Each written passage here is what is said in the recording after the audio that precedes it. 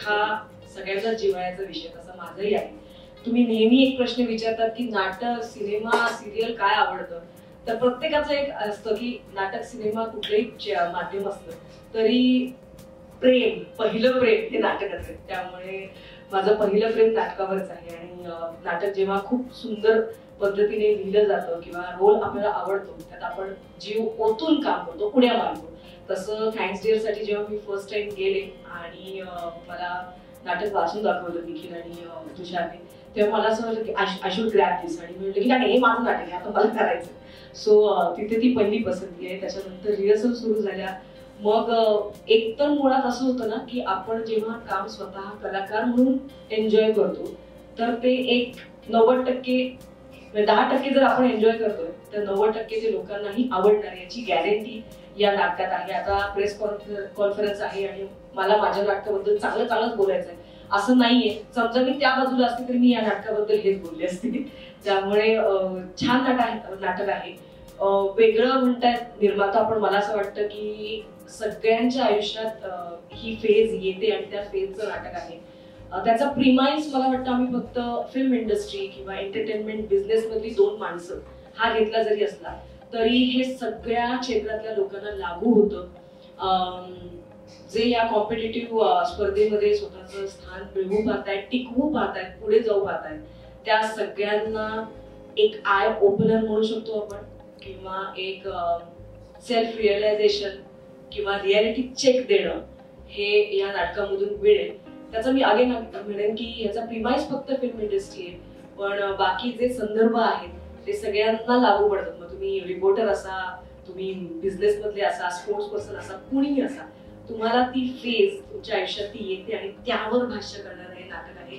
Again भाष्य करणारं नाटक आहे म्हणजे काहीतरी गंभीर असेल आणि बापरे डोक्याला झिंजण्या आणणारा तर नाही. एक खूप काही सांगण्याचा प्रयत्न आहे पण ते इतकं ह्युमरस पद्धतीने कारण त्याचे लेखक निखिल आणि तुषार आहेत आणि निखिलची सांगण्याची म्हणजे टॉम अँड जेरी मध्ये पण आपण पाहिलंय की त्यांना खूप एक काय म्हणतात नवरा बायको मधल्या रिलेशनवरच हे नाट्य नाटक होतं. आणि ते किती ह्युमरस पद्धतीने सांगितलं होतं. तोच ह्युमर या नाटकात सुद्धा आहे. आणि लोक खूप हसतील अशी मला गॅरंटी आहे. म्हणजे असं म्हणू नये की अरे ते आम्ही ठरवू. ते तुम्ही फक्त नाटक करा. पण मी एक कलाकार म्हणून पण मी हमखास सांगेन की लोटपोट तुम्ही हसाल. अगेन त्यातला युएसपी देखील आहे. त्याच्यामुळे देखीलची तुम्हाला माहितीच आहे तो तीस सेकंडच्या ऍडमध्ये पण काय काय रिॲक्शन देतो आणि आपण परत परत ती ऍड पाहतो इथे तर आपल्याला दोन तास बघायला मिळणार आहे देखील त्यामुळे गंमत आहे. आम्ही पण एक दोनच त्यातले मुद्दे असं सांगेन की आम्हाला सगळ्यात प्रोड्युसर्स सगळ्यांचं खूप आम्ही धन्यवाद देतो. एवढे लाड करणारे प्रोड्युसर सगळ्यांना मिळत आणि सगळ्यांचे हा सगळ्यांना मिळत आणि सगळं असंच प्रोडक्शन सगळे करू अशी माझी प्रार्थना. जसं बा- हिमांगी म्हटली तसं हे नाटक एकाच आत्ताची जे कटथ्रोट कॉम्पिटिशन चाललेली आहे त्याच्यात अनेक लोक म्हणजे जे मॅन ऑफ प्रिन्सिपल अशी लोक पण भरडली जात आहेत जी आहेत ती त्या- म्हणजे ही सिस्टीम चालवणारी लोक चांगली वाईट सगळीच त्या सिस्टीमचा भाग होऊन कधी इच्छेने कधी अनिच्छेने त्या सिस्टीम बरोबरच आता जायला लागते कारण एवढं आता ते पूर्वी अशी एक म्हण होती की प्रवाहाभोवती आपल्या प्रवाहाच्या विरुद्ध दिशेने होणारा सक्सेसफुल वगैरे अशी ती म्हण होती. पण आता ती म्हण ह्या सगळ्या आत्ताचा जो काही प्रवाह आहे त्यात त्या सगळ्या म्हणी खोट्या पडतात. कारण ना तो प्रवाहाचा साईज आता एवढा मोठा आहे की तुम्हाला कोण विरुद्ध बोलत आणि कोण खूप- खूप कन्फ्युजन तर त्याच्याविषयी बोलणारं एक नाटक हे आहे. आजच्या काळातलं आजच्या घटनांवर आधारित किंवा आजच्या प्रत्येकाच्या म्हणजे तुम्ही जेव्हा बघायला नाटक तेव्हा तुम्हाला असं की हा यार हे मी कधीतरी फेस केलंय. किंवा हा हे माझ्या आजूबाजूच्या मित्रांच्या कुठे कुठे ना कुठेतरी ह्या सिच्युएशन फेस केलेल्या आहेत. अशा पद्धतीचा हा विषय आहे नाटकाचा. आणि हा आणि तुम्हाला आवडेल सगळ्यांना बघायला. हे हे म्हणजे हे पॅकेज आहे असं पण म्हणेन अगदी पूर्ण ह्युमरस पण नाहीये.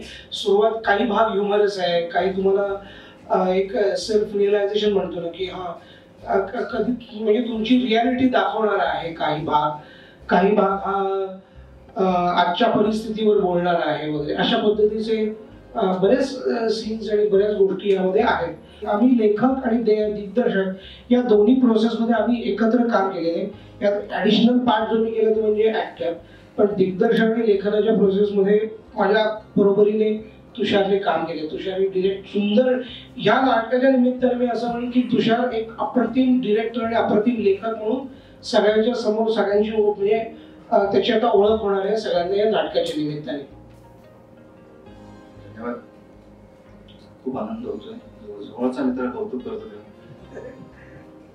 हा तर काही असं शिल्लक राहिलं नाही बोलायला. ऑलमोस्ट सगळं श्रीमंती बोलली त्यानंतर निखिलही बोलला पण एवढं सांगेन या नाटकात फॅमिली ड्रामा जरी नसला स्क्रिप्ट वाईज तरी फॅमिली ड्रामा आहे. वेगळ्या पद्धतीचं नाटक आहे. प्रेम आहे. या नाटकात विश्वासघात आहे. संघर्ष आहे. ऑलमोस्ट सगळ्या प्रकारचे इमोशन्स आहेत पण तरी नेहमीतलं सवयीचं नाटक नाही. वेगळं नाटक बघायला मिळतं. यात आणखीन एक वेगळेपणा सांगायचं म्हणजे आता स्त्री आणि पुरुष असे जनरली पोस्टरवर दिसले की लोक असा अंदाज बांधतात हा हे प्रेमाविषयी काहीतरी सांग मी म्हणजे काय म्हणतात डंकेचे चोट पण सांगतो की हे त्यातलं प्रेमाचा विवाचा कुठलाही अँगल यामध्ये नाही.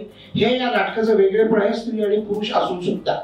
थँक्यू सो मच की तुम्ही सगळेजण इथे वेळेत आलात. त्याबद्दल सगळ्यांना सगळ्यांचे मी आभार मानते. नाट्य क्षेत्र माझ्यासाठी नवीन नाहीये. मी एक कलाकार आहे. मी प्रयोगशील नाट्य निर्मिती करणारी संस्था म्हणजे अद्वैत थिएटरची ओळख आहे. त्या संस्थेमध्ये मी अद्वैत गणपतामध्ये राजकन्याची भूमिका करते.